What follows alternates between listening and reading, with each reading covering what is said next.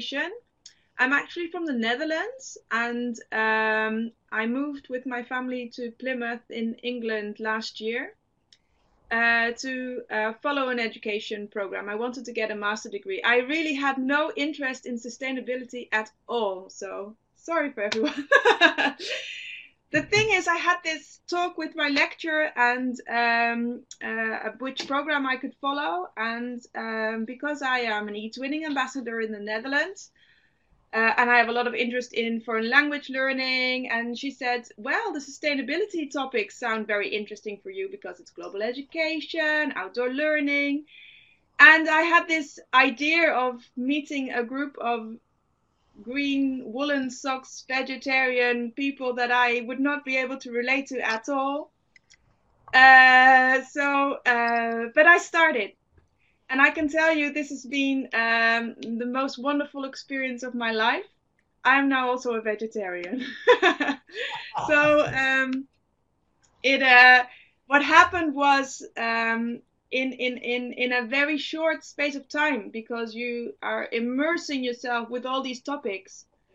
I went from no knowledge to boom, uh, all this knowledge and um, uh, it was it was shocking. It was wonderful, but especially the the people that are interested in sustainability education, it felt like coming home. And it is a bit how I felt with e-twinning always. You know, when you have that interest yourself, and uh, I, it's just be become my core topic now. And so I'm going back to the Netherlands and I'm going to uh, continue with my work there as teaching English as a foreign language to primary school children. But I'm going to do it completely different. and all of my assignments uh, that I've been working on, I've been uh, connecting sustainability to foreign language acquisition. So, how can I um, improve my education? and how can I uh, use that in my work? So uh, I think this might be of interest uh, of you to you because, of course, um, most of you have to also use a foreign language when you do e-twinning projects. So uh, hopefully, this will this will help you in your work. So um, the modules that I followed uh, uh, this year were alternatives in education, um, this was, I was just going to go through it shortly because it leads up and it will explain to you the process that I've gone through. Um, so the Alternatives in Education module uh, was more about your utopia of education. And um, uh, our assignment was to think of your utopia. So what would be the ideal setting if everything was possible? And um, first you think, wow, this is great, uh, because in education there's always a lot not possible. And so, what if if I have the ideal setting? But then I realized uh, it is actually quite difficult for a teacher to have everything they want because we are so used to working with problems, solving them. Uh, we're, I think we're as teachers we're masters in in thinking, okay, how can we make this better? And um, so that process made me think, okay, if I think e-twinning is so great, let's let's look at what is wrong with it. And I didn't want to look at what was wrong with it because I love it. But I went through that process and it was depressing because um, I forced myself to be very critical of eTwinning. And um, but by going through that experience, um, I was justifying what I thought was important about eTwinning. And I discovered uh, that what I thought was important wasn't exactly why we are uh, getting all these subsidies to do eTwinning. Um, my, it's very important for me to have the sense of equality in education. Um, so working together, connecting with other children, that is that is what we all want, right? So that's what we think is important. But then I realized something very simple, like okay, so I do great projects with uh, Poland. We have our iPads, we have our webcams, we have everything, and I'm thinking, that I'm broadening the view of my students. But at the same time, we have a project for children in poverty, and we're filling shoe boxes with toys and pencils and paper and sending that to those countries, as in we're helping those children.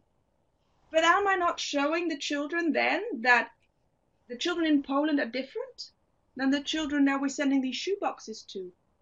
Why can we work with iPads with these children? And is it okay for me to send pencils and, and, and, and notebooks to other children?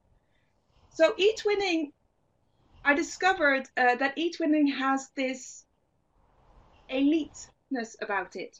It is focused on, on making us grow, making our knowledge eco- uh, economy grow, but it's not on equality because the rest of the world is not not doing this.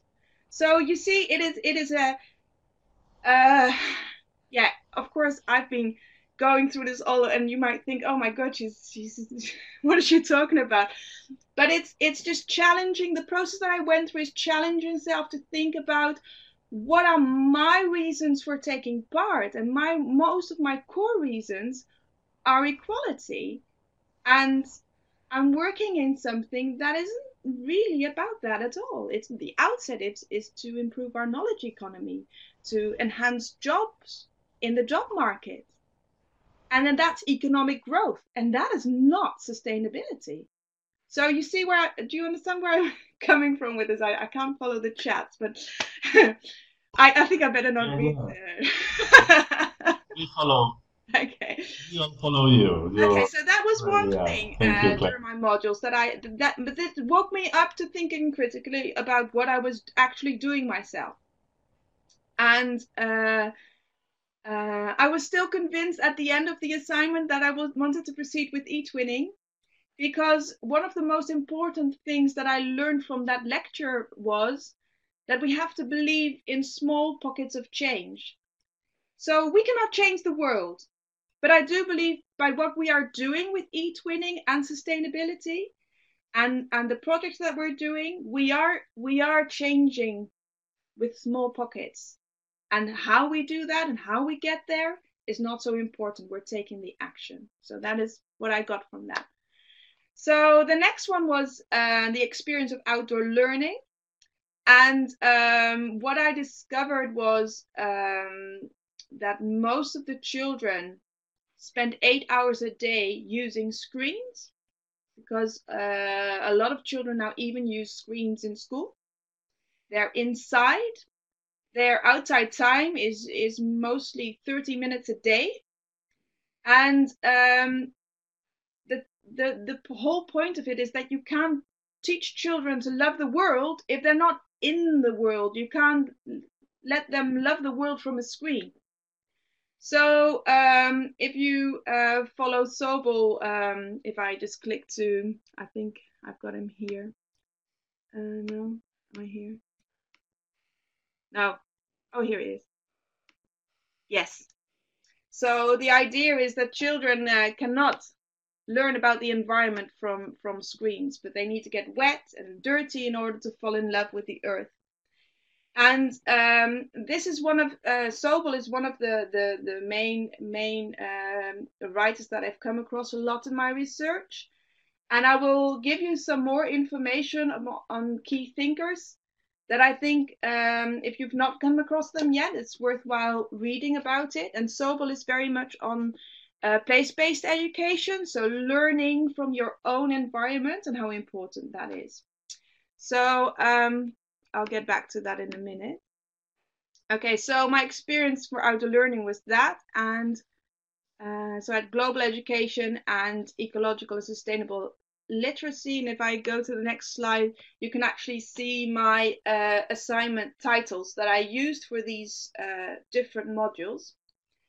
And um, one very interesting thing for me was the moral matters in foreign language development. So um, when we work in eTwinning projects and we work about sustainability, we want the children to engage and discuss on all these topics. But if you realize that if you uh,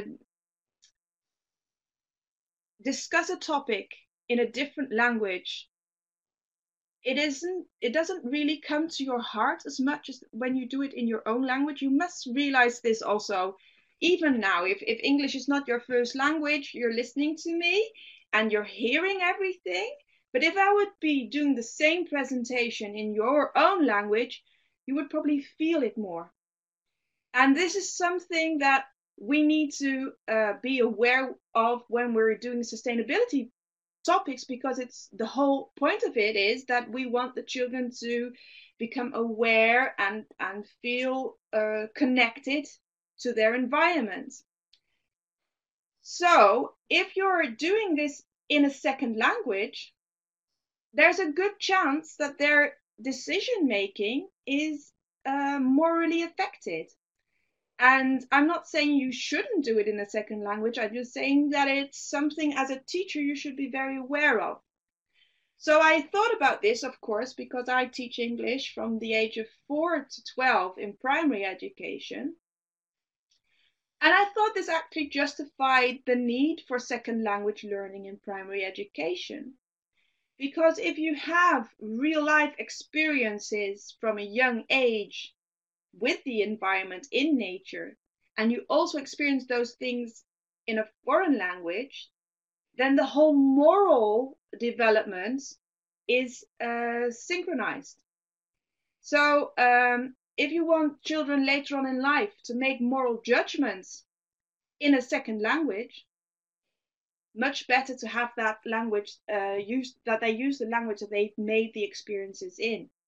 And if English is going to be the language they're most likely to do that, then I that would then of course justifies the case. So that's uh, just something I wanted to mention and I wanted and if there's there's a whole lot of literature on it that I can point you towards if you want to go into that, but I just wanted to touch on it a little bit. Um, so the basic thing about the connecting children across borders is what I've just mentioned with Sobel's idea of place-based education is um, that children need to feel connected to their own place. And uh, he did a, a, a, a, research on how children drew themselves in a map. So uh, children from the age of uh, four to seven, they actually draw themselves in their house, in where they are. That's their environment.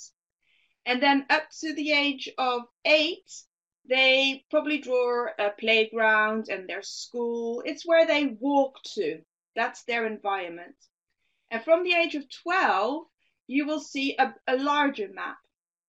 And if you use those simple examples in how you uh, uh, use the subjects that you teach the children, it uh, makes you understand in what is age appropriate for these children. And I touch a little bit more on that when I go to my next slide. So, and then I can give you more examples. But this is basically what I've just been talking about. Um, okay. Okay, so now I get to the ethical considerations. And I just need to get my stories straight so I know that I'm not forgetting anything. Uh, sorry. Okay, so this is talking about the stages that you go through when you become to grips with climate change. And I, this is very much what I went through. Fast forward from not really dealing with anything sustainable. Of course, I separated my garbage and I thought I was being, you know, very environmentally conscious. And this is the whole thing. People think they are, but they're not. So there's a big, big message for education for how we can improve that. Um, so this is called eco awakening. So you know when you come across um, images on facebook or, or adverts on television about poverty or uh, uh, famine or, or, or even plastic soup in our oceans you just have that phase where you don't want to know. I, I, I don't want to hear anything about this. It's too much. That's when you ignore it. And the second one is, okay, I'm aware that it's that it's there, but there's nothing I can do about it. And the third one is okay, I know there's something not quite right, but um, yeah. What do we do? What do we do? I can't go back. I know it's there, but something's not right. And then you get to the point of awakening. And when you realize, uh, okay, I am part of this earth. I, I want to change. I want to uh, uh, live more sustainable in this earth, and and this is my new route in how I want to proceed. And I think I was here in um, at three months into my course, and then I noticed that I was living in a family who did not all of a sudden want to become vegetarians, who did not appreciate my chucking out all the plastic bottles bottles and and rearranging and bringing in bamboo toothbrushes and all this. Everybody's like whoa what's going on? So then you uh, uh, also have that feeling okay um, i'm realizing all the things that are wrong in the world uh, but I don't think that anything is going to improve with whatever I'm doing. I don't think I have enough influence. I think it'll all go wrong. And this is a depression that happens. Okay. You could also feel very empowered. So, um, okay, I'm an educator, I'm a teacher, I'm in e twinning. This is all the wonderful things that I can start doing. This is also great. And um, now and then you get it to the point of no return, return, and then you know that when I go back to the Netherlands, there's no option for me to go back to the way I was teaching before. I, I am going to have to change, and I can't see what's under six at the moment. Uh, there we go. Okay, so then you move into action. Okay, I've put this here because as educators, we tend to sometimes throw the problems of the world into our classroom show the plastic pollution, show the melting icebergs and the and and, and the polar bears drowning. And um, I think as educators, it's very important to be aware of the eco awakening stages that also children go through. And uh, at the moment, um, a lot of children are suffering with eco anxiety. This is not a, a new trend. This is something that is really happening. And it's happening because children get the sense that they don't feel they have any power. They don't know what they can do about it. And I think it is wrong, it is morally wrong of educators to put the problems of the world on our children's shoulders. I, yes, we need to do something, but I think we need to really critically think about how our approaches and how we do that. So, um, I just have a small example that I wanted to share with you, and I want you to look very closely at uh, at the faces of the children.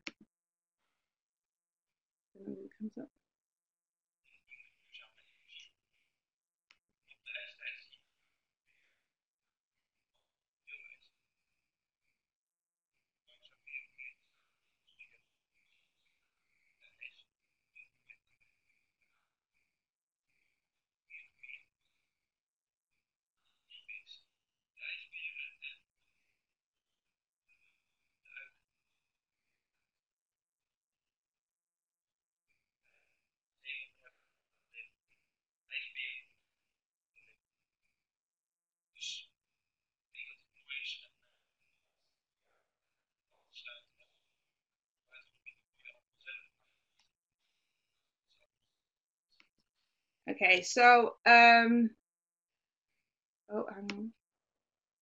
I can't get yeah, so here we go. Um the faces of these children, they break my heart. And um it is the same I saw with my own children when they were watching Blue Planet. They were enjoying the beautiful pictures of, of Blue Planet. But when they saw the melting icebergs and the and, and the and, and the and the animals that could not be rescued, they got so upset. And you're showing the children images of they have no direct influence. So they will feel distraught. And of course, this is followed up with actions. which is fantastic. But those actions do not help that uh, polar bear that is drowning. So do you understand what I mean? It's it's it's so you're showing children images of they have no direct action on, and that can cause a very serious eco anxiety situation. And when children get that depression, that eco anxiety, it will it will not empower them to help. It will just make them turn away from it. And we've been talking about these problems uh, of our environment for years. And still, there are people not taking action. So you have to wonder whether this approach is the correct approach or whether we should be focusing on a different approach. And this is where I um, have started to look at in my research. So here you can see uh, a television guide for which films children are allowed to see. And I think we should use the same type of guides in our teaching. We should think about what exactly are we putting our children through when we are talking about sustainability. And uh, here's a funny picture I found about eco anxiety and how we can change eco anxiety into hope. And I do have a, I, I do have another approach that I so I'm not awful awful awful. I just wanted to to raise the problem. So um, so I think we have a responsibility as educators to really think about this. And I don't know if uh, all of the people here are teaching children from 16 and up, and it's a completely completely different ball game. But if there are also uh, teachers here that that are looking about teaching primary school children, I think it's very important to be aware of.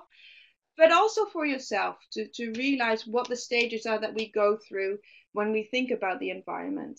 Okay, so um, so we need perspective, we need hope. I think the only reason, the way that we can uh, move forward is that we give children a hopeful future. And not to, i'm not saying you can't tell them the truth. I'm just thinking i'm saying you have to be aware of their stages of development.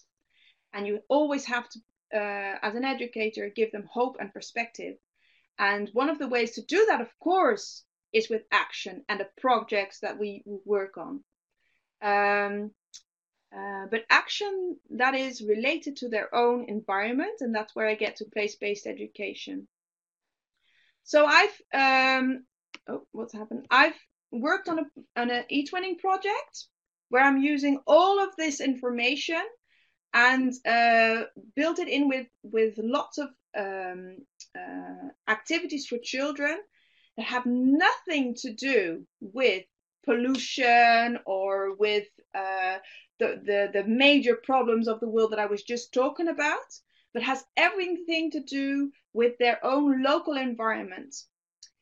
And I, um, uh, all the activities that I prepared are for children to uh, start loving the place that they live in.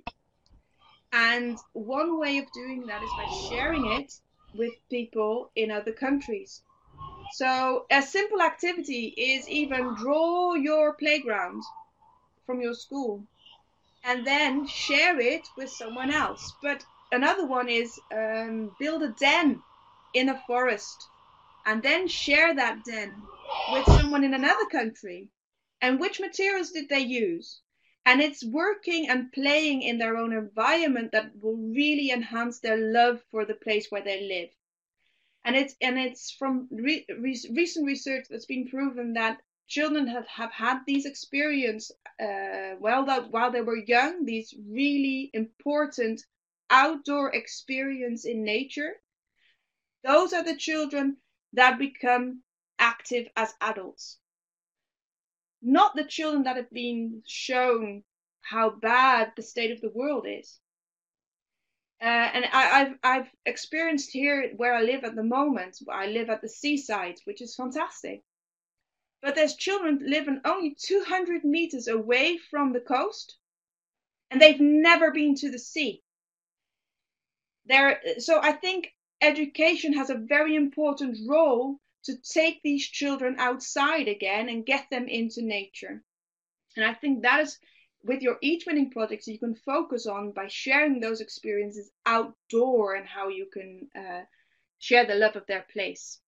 Okay, so um, and this is some of the examples that we propose in our project. So, um, and the plan is that we're going to do an Erasmus application, and we'll hear in August if that's uh, going to be uh, followed up. But then hopefully we'll be camping in each other's countries and building fires and sharing the love of our place together. And uh, I'm really excited about it because I really believe this is the way to um, to um, yeah inspire and uh, get significant significant life experiences for the children to uh, move on from. So this leads me to my uh, research question. Shall I pause a bit or sh shall I just go go on? Is it okay, Agustin? Shall I just continue?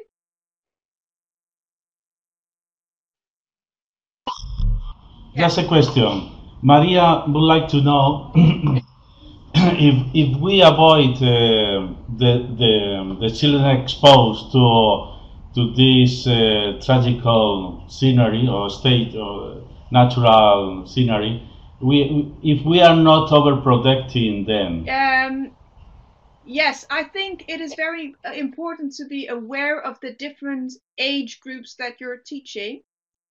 Uh, but it's the same issue with when you talk about terrorism or when you talk about uh, uh, wars. You know, when children ask questions, I answer.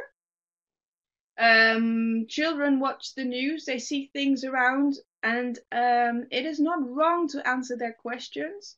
It is not, it's just uh, a wrong approach to think by showing all these things that that is going to change their actions later on in life it is a, it has the adverse effect. So there should be definitely a very big balance, and the balance should be more towards um, valuable experiences in nature for the children to love the earth. And that is the only way, I think. but um, so so uh, is, can I continue or is there can have I answered that question or okay right yes please okay yes yes so please. uh, okay um, so the thing is um, with my research question I want to um, because I think we as educators we have such an important role everybody in the sense group if you compare how many teachers are in the sense group to the rest of eTwinning, it's a very small group. Um, but I think you, all of you who are listening, um, you have uh, something very important, I believe, uh, that I want to find out about. Because what makes you want to, as a teacher, act uh, uh, in your practice with sustainability subjects?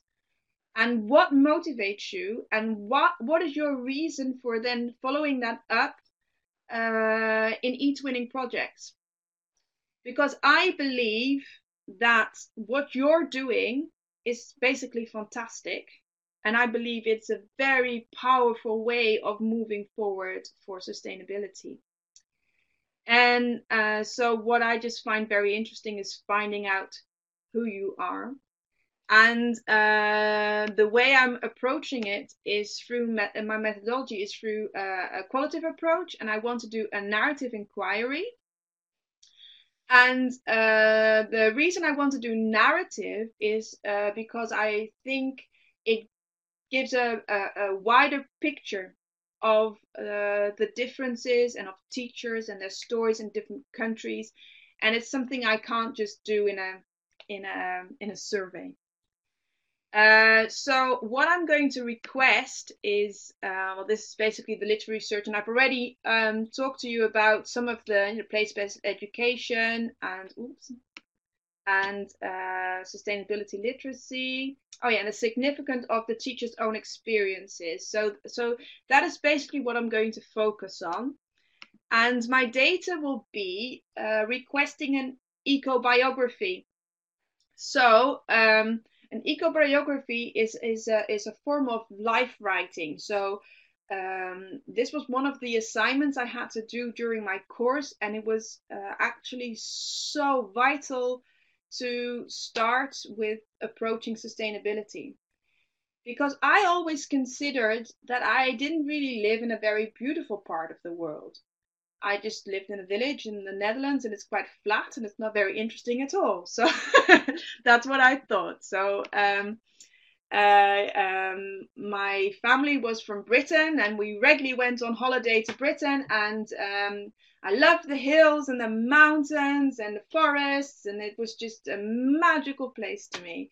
And my village wasn't that interesting at all. I thought but then I started writing down about my experiences in nature as a child. And one of the most significant themes that popped up while I was writing this is my incredible sense of freedom that I had as a child. And um, I think that sense of freedom is so important to me now, even when I'm teaching and I think it also has to do with the reason why I want to connect to other people in other countries. I want to spread my wings. I want to be free. And um, what now my children go to to school in England, and uh, even though things have changed a bit in the Netherlands, uh, the culture shock for me mostly was that children don't go to school on their own here they don't go to the playground on their own here. They don't, they are not free. So if there's, it's not a surprise that a child that lives 200 meters away from the sea has never seen it. It children go to school, they go back, and I'm not saying it's the same everywhere across the country. I'm not saying that at all. I'm just show, sharing this as an example of my experience. Um, uh, so my sense of freedom here is very restricted. It's one of the reasons I do not want to stay here. I want to go back to the Netherlands because I want my children to cycle to school in, the, in my lovely flat country. but um, but you know, so and I think for everyone, and so what I experienced in my lectures, everyone had to write their eco biography, and it was so interesting because there's participants from different countries, and uh, everyone shared such significantly different things when they recalled their memories of nature. But yet, even though they were all very different, we're all in this group and we all want to work on sustainability. So, and I think those stories are so evident in how we want to change education. If you look at what is really at the core of who you are and how your experiences in nature have been as a child, it will uh, make you think more clearly on how you want to proceed with your education and your teaching. So, um, regardless of my own research, I want to invite you to start thinking about your experiences in nature as a child. And maybe on a sunny afternoon when you sit outside or wherever and have a cup of tea and whatever, start writing down your experiences. And it doesn't have to be a lot, and you can take your time to do it even. But I guarantee you it will be a very worthwhile experience and um, and, and I hope it will benefit you in your teaching. And if you're very brave, you don't have to be brave, but if you feel that you would like to uh, contribute to my research, which which which I'm still looking for participants, um, uh, I would love for you to share your eco biography uh, with me. I will use your uh, stories completely anonymous, so so you won't have to worry about uh, anyone being able to identify you. But it would help me greatly, especially because you are in this sense group. You're my target group. So uh, um, uh, you are the educators that want to work on sustainability and do international collaboration. So I'd be very happy to receive some of your eco biographies if you have the time. I know we're all very busy.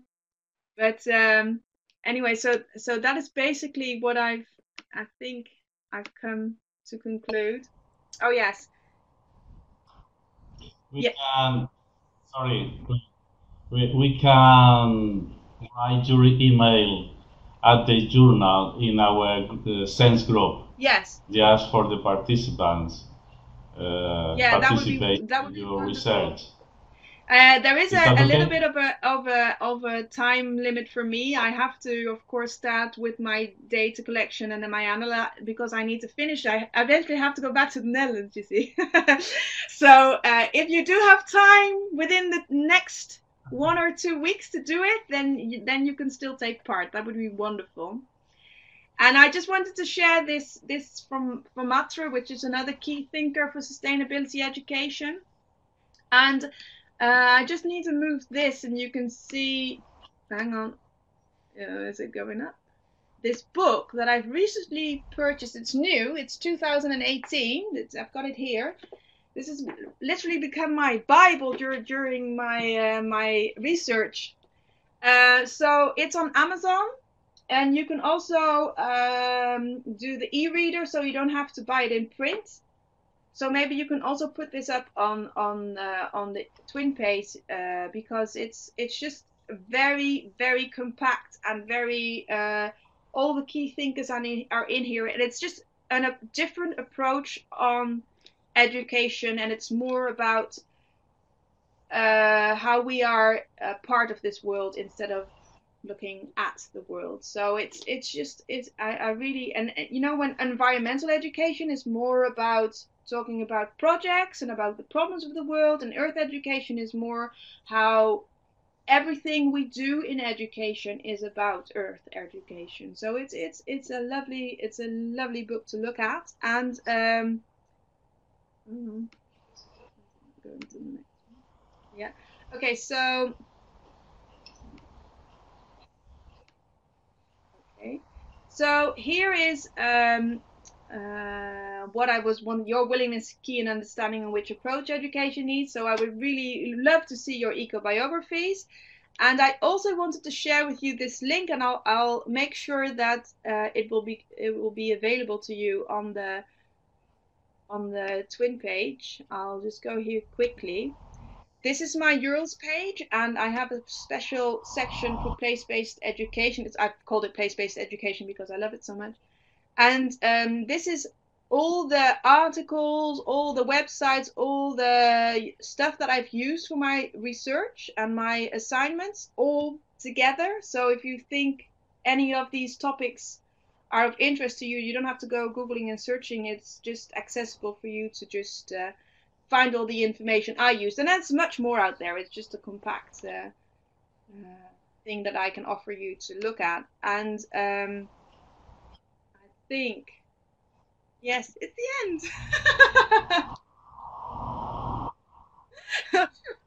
Thank you very much, Claire.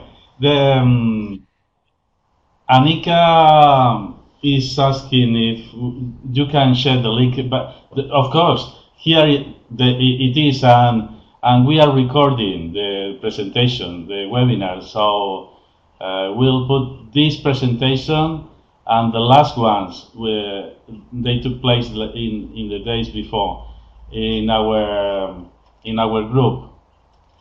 Um, this is another kind of uh, music that young young people like. Um, I was talking to. I, I would like to show you before. And here, in our group, uh, sense group,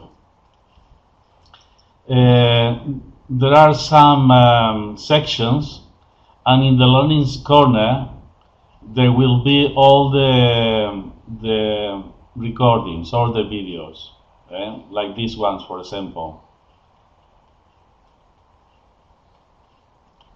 So I, I invite you all to visit the group where you, you'll find many interesting information um, and useful materials for you and your projects.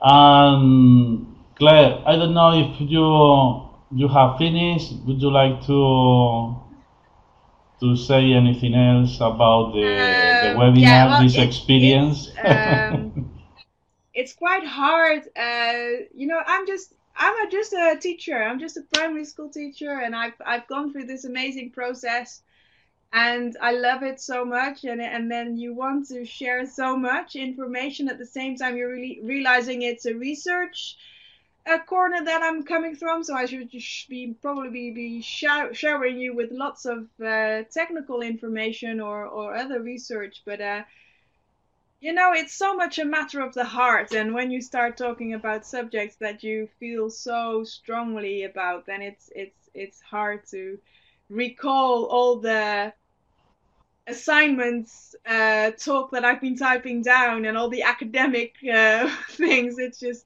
well, um, but I hope it was any, uh, useful to you. Well, thank you very much, Claire. And of course, thank you very much to Elena Pires and, and Maria uh, for participating in this webinar. Um, because because you you have done a very fantastic work and and your communications are oh, have, are been wonderful and I don't know if there is any any question of the participants. One of them would like to know. Ah, that's the book. uh, all the the section is um, learning corner. Is the channel is a deep into. And if you have any other topic would like to that we in our group uh, is working, just please e email me. Um, we'll, I'll try the, my best to, to find some interesting uh, people like Claire, Elena, and Maria. Thank you very much again. Um, I'm, I'm sure we'll keep in Thank touch you very in the much future. for all your time. Thank you. Bye.